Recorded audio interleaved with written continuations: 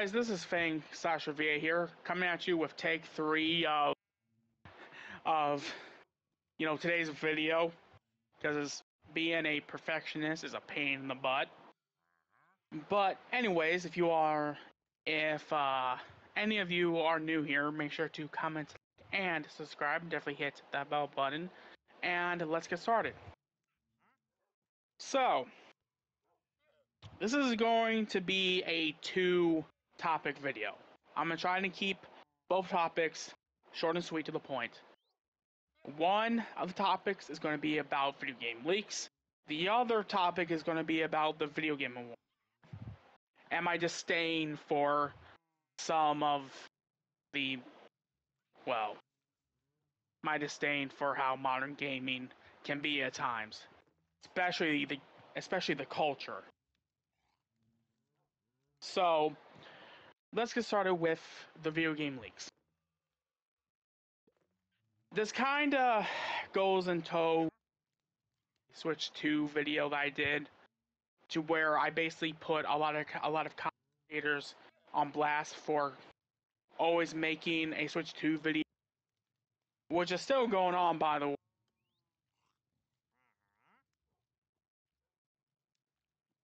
But to recap that video, just in case people haven't watched it, I highly recommend you do, is that I've gotten tired of certain leaks because they have definitely overstayed their welcome party. And the fact of the matter is, there's no proof, there's no actual concrete proof. It's only this random person on this social media site said this and people instantly assume, but I feel like it's real. One of those things that drives me nuts is the whole Twilight Princess and Wind Waker compilation. That leakers say that it's been done for a while, supposedly. Well, if it's been done for a while, where is it? Where is it? And this was one of the more obvious leaks from when the system first launched back in 2017.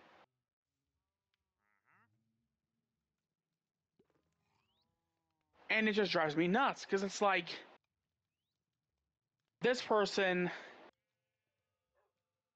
says that, oh, yeah, by the way,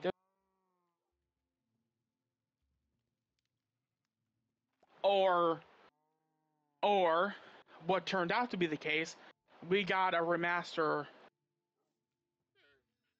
Um, we got a remaster for the first Metroid Prime. Who knows if they're gonna re? Who knows if they're gonna re? Who knows if they're gonna remaster two and three? Even though they should, in my opinion.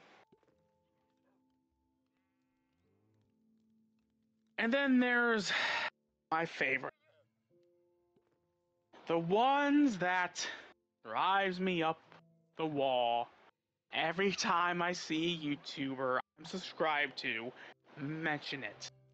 The Switch Pro or now the Switch 2.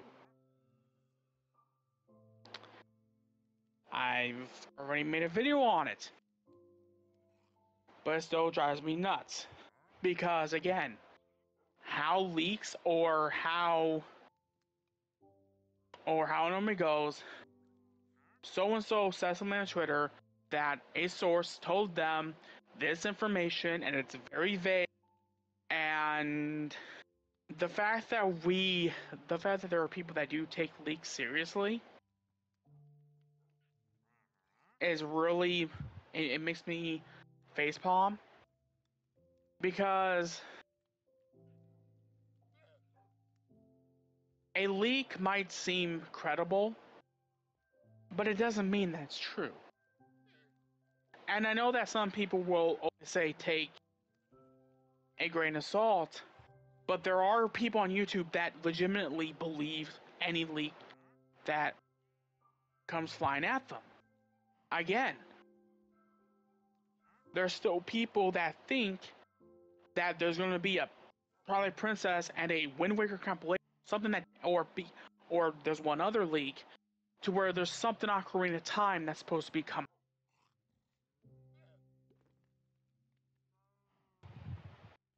And then there's the Metroid Prime Trilogy for situation. And it's one of those things to where like I'm just sitting here seeing these still seeing these topics still being brought up. And here's the thing. Here's the thing. The Switch Pro conversation started immediately around Switch first launched. There are certain people in the video game community that is always thinking about the future. It's like, okay, okay, what's next?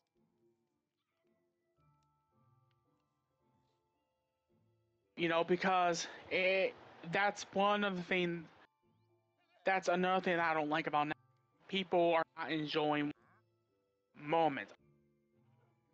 People, people are more. What's going to happen in the future? You know, do I believe that Nintendo is working on the next system? Oh yeah, of course. But I don't believe any of the leaks until Nintendo drops that reveal video. Just let me tell you, if you are expecting some uber powerful console, they could actually provide that. But Nintendo likes to do their own thing. So, if they do a Switch 2, I can play all your all your Switch games in in HD and maybe it's built more to where it can handle horror games or graphics, the GPU, or the RAM might be bigger. But the fact of the matter is, is that that you know Nintendo's consoles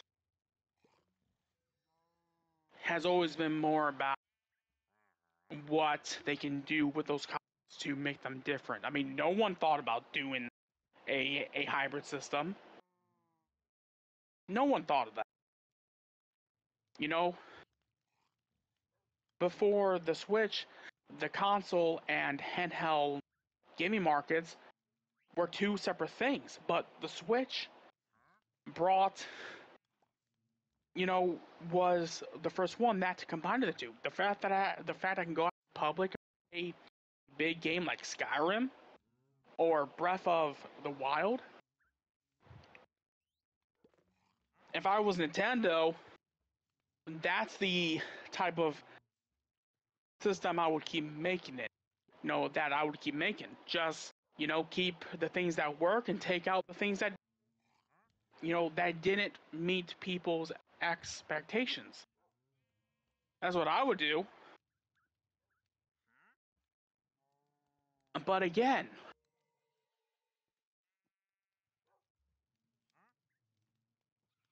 supposedly there's a Breath of the Wild or a version of the Final Fantasy VII on this supposed Switch successor at Gamescom.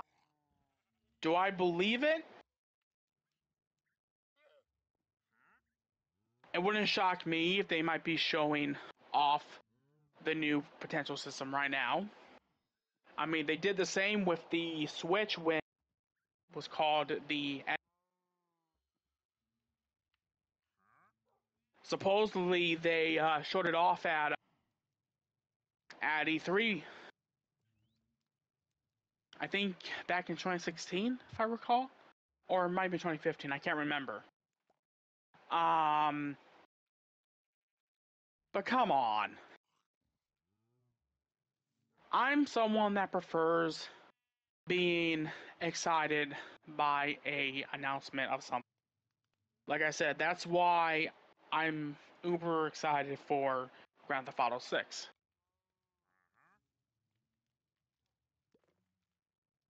Because it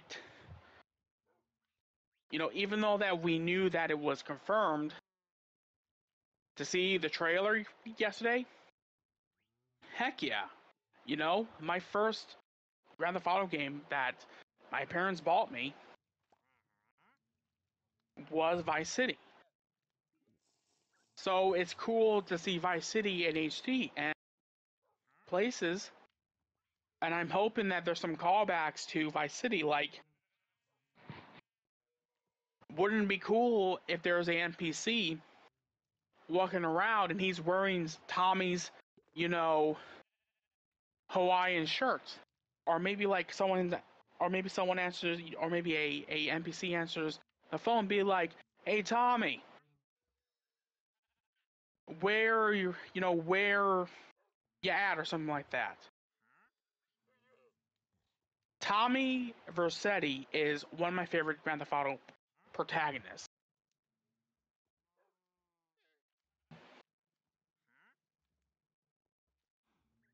And but I've gotten so sick of video game leaks. I really have. I'm burnout. Just, I wish people would just wait until it gets confirmed or not. Instead of believing or like reading every leak that comes. But I get the cost of living. Now, to go alongside this part of this conversation, now let's discuss when we have the Video Game Awards. A show that is controversy free. Oh, wait, it's not? Oh, what do you mean that they kind of rigged the Video Game Awards one year for Part 2? What? And what do you mean that Geoff Keighley blamed the whole Sonic and Genshin situation last year on the Sonic community when both sides were being toxic. Hmm. Well.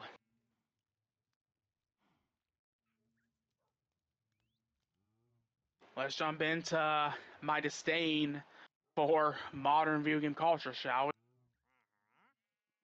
Now, even though that I enjoy the Video Game Awards for the reveals and to see, you know, the games I did vote for win. I don't care about the award show part of it, even though that I do take part by voting and all that. I don't care because at the end of the day, just just because a game gets best, you know, gets a award doesn't mean that the other games suck or mean that the other games that came out this year in that genre sucks. It's a very subjective thing, just like with the whole game of the year. Some people, you know what? Some people may say that's not Superstar their game of the year, and that's totally fair. It's a it's a subjective thing. Some people may say that this obscure indie game is their game of the year, and that's perfectly okay. But what's not perfectly okay is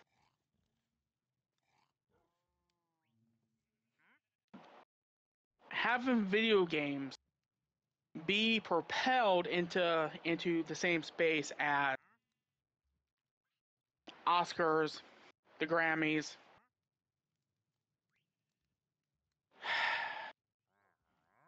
the Rock and Roll Hall of Fame.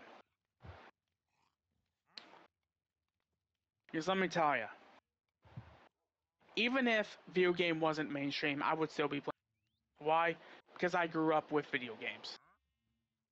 That was the one thing that was, that was, and that's one of the things that's been in my life since I've been, since I was, along with Star Wars.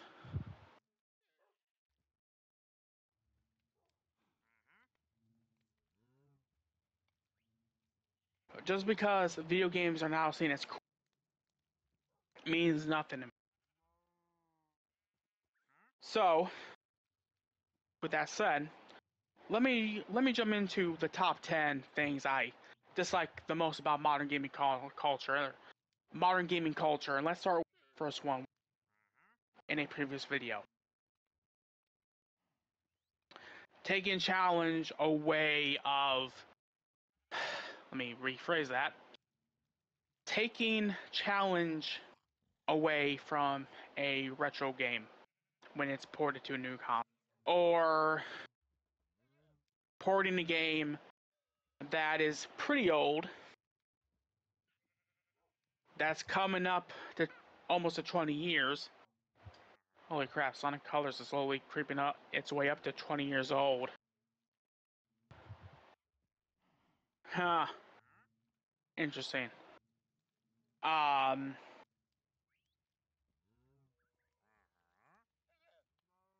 and stripping away the whole live thing for pretty much um, what I like to call baby mode which is unlimited lives and pretty much stripping away the challenge at all. Which is the point of those old games. And Sonic Colors.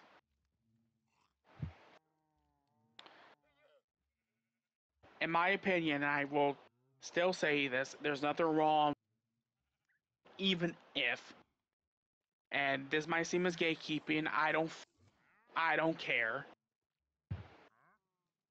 Not every game should be accessible to everyone. A game should challenge people too. I like a challenge. If a game is too easy to quite literally sleeping through it, no thank you. I'm sorry. But if I'm playing Dark Souls, I'm playing I'm playing Dark Souls for it to challenge me and to kick my butt and for me to lose my mind and eventually beat the boss I'm dealing with. Something I'm dealing with.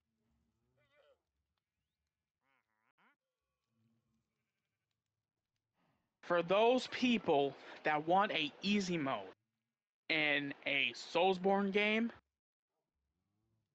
if you want to experience a dark fantasy game or a game that takes place in feudal Japan, like um, Sekiro.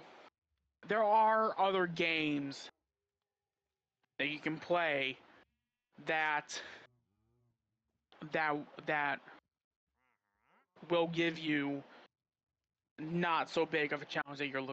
Do not complain to the game developers that video games should be accessible When to be honest, they they have no intentions of on adding a easy mode to any of those games. And that is why I tip my hat to them. I've seen too many games change, well, not change, but get something edited, either dialogue wise or, or have people complain on Twitter just just because they don't like how a certain character. The game developers knows what they're doing. They don't need you breathing down necks. So back off.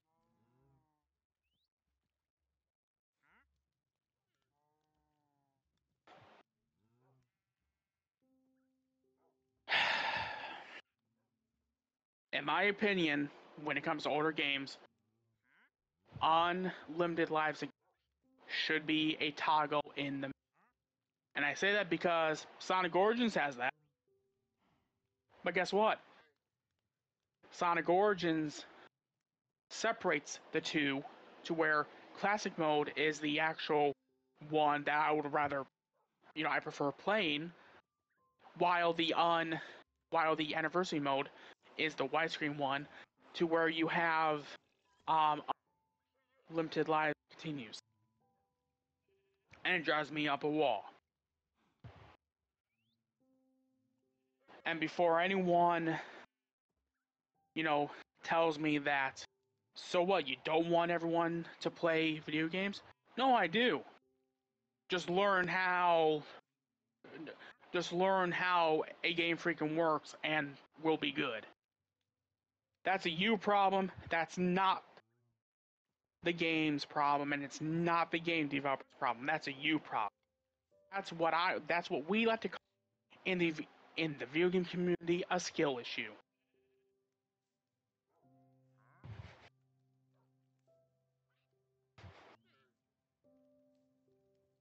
Number two.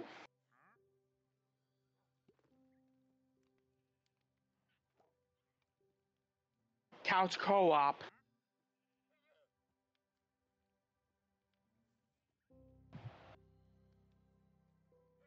The lack of couch co-op. Now, I am grateful for the fact that I can play games with anyone, especially with Discord friends, especially if they live in a different state or country. I'm not against playing online with friends 100%. But my preferred way of playing games with that I know is being there face to face, sitting down on a couch in front of a big TV and just having fun, you know, maybe, you know, eating snacks or maybe eating or something like that. Because nothing will beat actual human interaction. I like you, even though that I'm glad I can play Master Duel. I prefer dueling, you know, in person with people because of that human interaction. It's great, like when they think that they got me, but then all of a sudden I just play Mirror Force and it and and they go, "Oh man, you got me." You know, nothing will beat that because fact matter is, us humans, we still need that, you know, in-person interaction with our friends and family at the end of the day. Number three, microtransactions.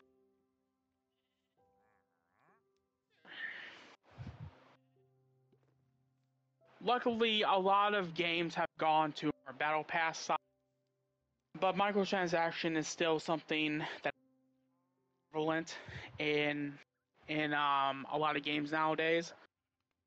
And I've started to hate the whole Battle Pass systems too uh, of games. Because for for for one thing, right? There's a skin right now in uh, Halo Infinite that I would want to get, which is the uh, Halo 1 armor. I would love to have that. Problem is, if I want to get it, I have to pay a good a good amount of money to get it. When in my opinion, that should be unlockable. Will I pay it? Unfortunately, yes.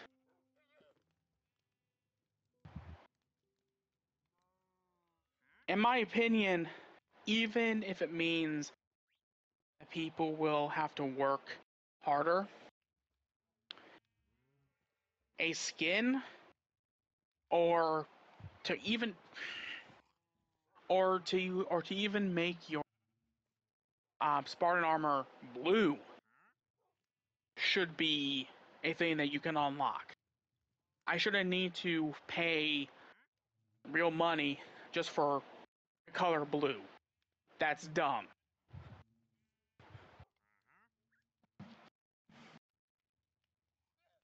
Hopefully, hopefully very soon we can get back to when you didn't need to do that. I hope.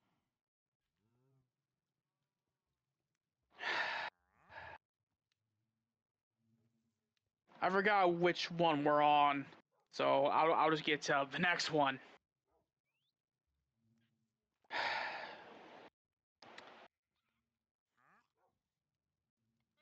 And this might actually be one one uh, on the last point I'll make because this one's going to be a doozy. Games that release with tons of glitches and it's not the full game. What I mean by that is where they end up releasing and you have to pay for said DLC. Now, I don't normally complain about DLC because I do think that I do think that it's cool that it adds more hours to your game. But I do think that in my opinion that content should be there already in in the game itself. I don't think it should be something that people should pay for. So before the game, no, uh, before game prices became 70 bucks, when it was 60. Okay. I'm gonna use Marvel. I'm gonna I'm gonna use Marvel Spider-Man PS4 for a example. The base game is 60 bucks. And to get the season pass, depending on the game, can range you anywhere from nine bucks to about 30. So the depending on the price, you're actually could be paying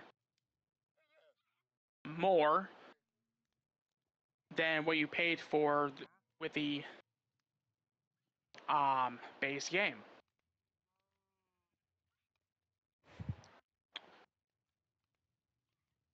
And with like certain games like Witcher 3, I'll give that a pass because it's a big game, you know, and and those DLCs add more um content to a freaking already giant game. So when it so so when it comes to that, the DLC is worth it. But the type of DLC that isn't worth it is God, I hate to do this. is the whole new characters that you quite literally have to buy with real money in the Texas Chainsaw Massacre, the game.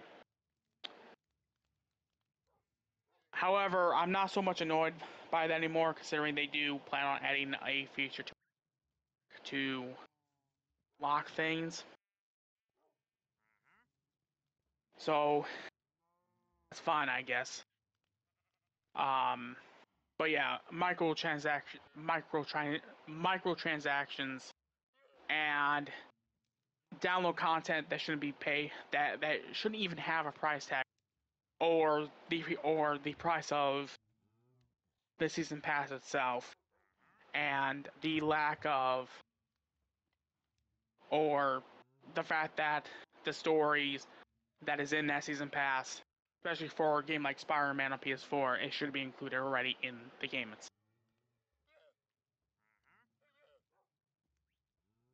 Um, now we get to the final point. I know that I said there's gonna be 10, but I'm sure that I'm ready around minutes for this video already. I don't want to make it too long. I probably will do a part two eventually.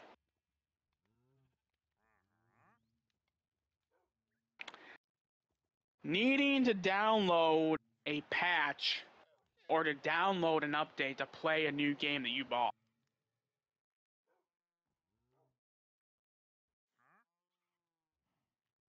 I miss the days when you bought when you bought a game. Are you are you are you know the only work you really needed was to remove the freaking wrapper off the freaking game case. And all you have to do after that is open up the game case, take out the disc, you put it in your system of choice, you shut, you know, you, you know, you let the game, and there you go, you're in. Or B, better yet, if we're going back to the NES, Super Nintendo, and the N N64 era, those eras, the only maintenance that you needed to do was cartridges. Even though, yes, I know nowadays they say that that's a bad thing to do. I don't care. It's it, you know, it was still effective. If a game wasn't working after after you put the cartridge in the first time, you pop it out, you blow in it, you put it back in, and then la la, la it works. But nowadays, to play a game, you have to download a freaking update or a first day patch. You mean to tell me that couldn't get the game fully bug free by the time the game launched. Come on.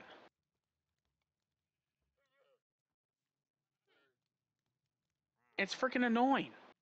It really is because it's like, it's like, I guess this also ties into the whole thing about, you know, in my opinion, that, you know, games I think are getting too big for the purpose of being of being big, or that I feel like these games, especially if it's a big game like I'm gonna use Tears of no no I'm gonna use Dark a example. That game has tons of glitches because the fact matter is that you know those game developers they're known for making big RPGs. Look at Skyrim. So I feel like a lot of these game developers nowadays, again, they're trying to make their magnum opus and they're not able to squash all the bugs out? Come on. You know, and like the thing is too is that, you know, back during the old school days, if there was a glitch, I didn't complain. I mean, there was nothing we could do.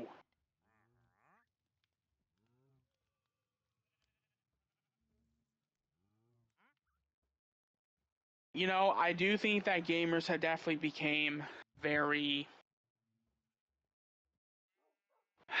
spoiled to the point of toxic. Because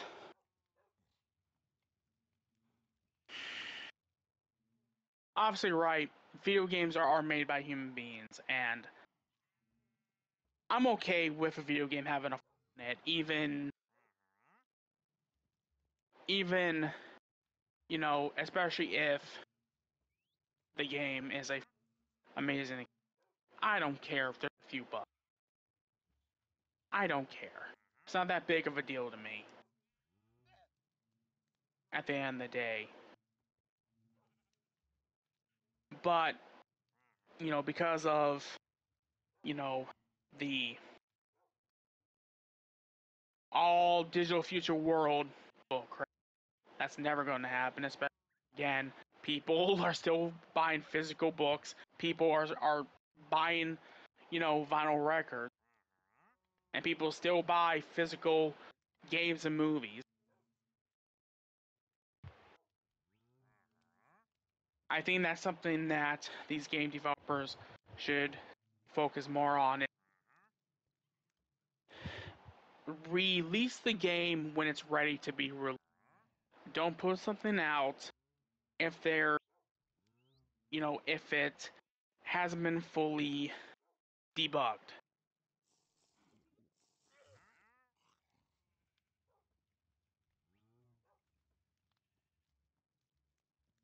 And a minor point here is, and definitely do not announce a game before you have anything to show.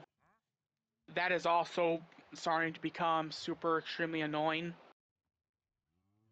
Like Elder Scrolls 6 was years ago, and they still haven't shown anything. Be- why? Because they focus on Starfield.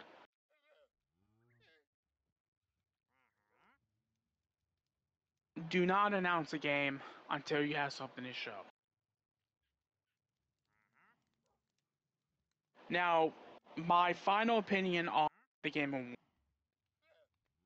is that I do think it's great that the Game Awards exist to show people that aren't gamers video games are here to stay.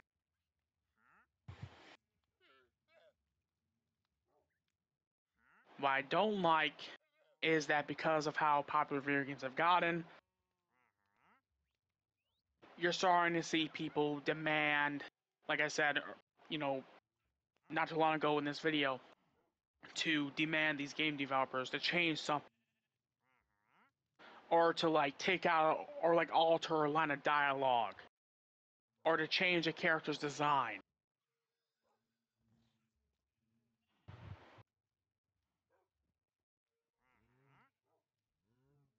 And all the complaining a lot of gamers do nowadays.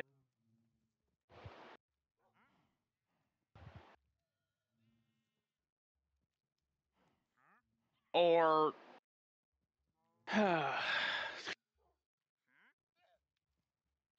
or better yet, debating on which gameplay style was better for Final Fantasy.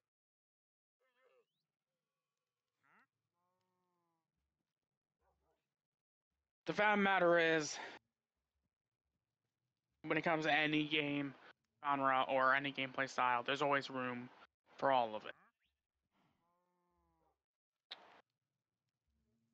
And in my opinion, a game should be made made with with passion and love and dedication. A game shouldn't be made just because that's what the fans want, in my opinion. If the fans want a game, but the game developers, you know, don't want to make it, well, that's why fan games exist until those developers are ready to make that game. You know, and as much as I even though that I mainly talk about I guess the whole negative side with that game that I feel like with how you know, especially with legendary a game already is with how that, you know, proposed Sonic game is, I still feel like that game wouldn't would would wouldn't meet it. Everyone's expectations. But I do have to tip my hat to Sonic Team. You know, as much as you know, some of the Sonic fan base may get angry at me for saying this, but I'm kind of glad they haven't made Sonic especially if like they're not feeling it. Because, uh, like I said, I want a game to be made with love and passion. It's just like with music. I prefer seeing a musician put all their craft. And just like with artists. Same thing with artists. You can tell or or listen or play something or read something that you can tell there's a lot of in that product. You can always tell. Because a lot of people can can see through that. But anyways, that's it for this video. Let me all know what you think down below in the, if you agree, disagree, and let's get a comment going. As always, I'll see you all in Later, guys.